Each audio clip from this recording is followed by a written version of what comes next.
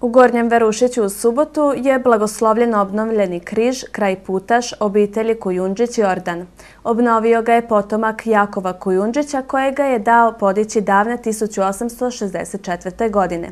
Desetljećima je Jordanov križ, kako su ga zvali, bio simbol kršćanstva ovoga dijela Velikog subotičkog atara i obvezno mjesto susreta i molitve. Potomci Jakov i Ida Kujundžić vjeruju da će obnovljeni križ ponovno imati to značenje. Stari križ je sagrađen, sagradio ga moj pradida Jakov 1864. godine i taj je bio drveta i trajao je 103 godine. Bila su vremena kad se nije, nisu gradili križevi, nego rušili, pa nismo radili onda, nego sad su se ispunili svi uvjeti da se napravi i obnovi novi križ, što je bila želja svih potomaka njegovi.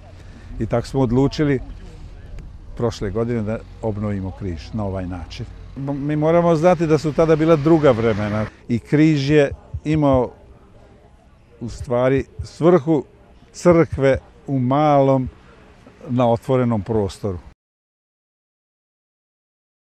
Ja sam bila 16-17 godina kad smo dolazili pod ovaj križ. To je bilo na veliku subotu ujutru. Dođemo rano, još u dva sata.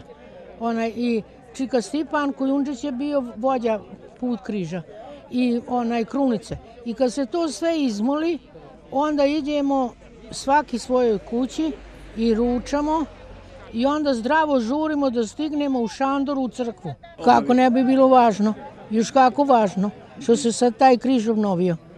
Da postoji taj križ, što i kad god postoji. Samo što je to priko 50 godina prošlo kako nije bio. И ту, ја са ранена исто мисто.